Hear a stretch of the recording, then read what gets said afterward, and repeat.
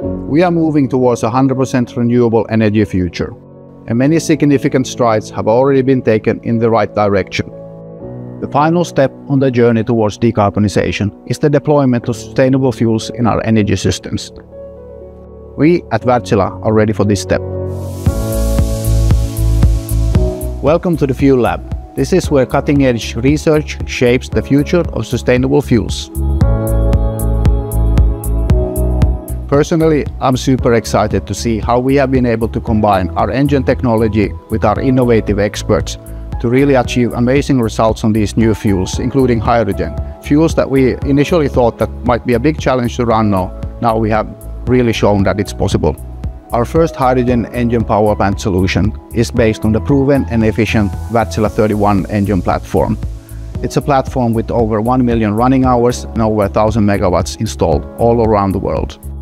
We have an extensive track record of researching and bringing new fuels to the market. For over 60 years, we have been developing a large portfolio of fuel capabilities, and on pure hydrogen, we have been operating and testing since 2021. We have extensive experience in converting our customers' engines to run on new fuels.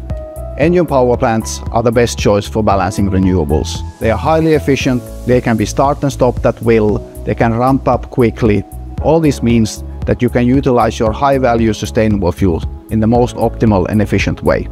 These capabilities come in handy now as energy transition will require transition to sustainable fuels. We are not at the finishing line yet, but we are ready to take the needed steps towards a 100% renewable energy future.